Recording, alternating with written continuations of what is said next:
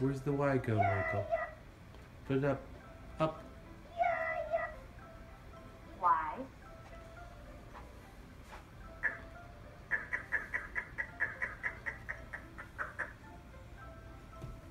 Where's it go?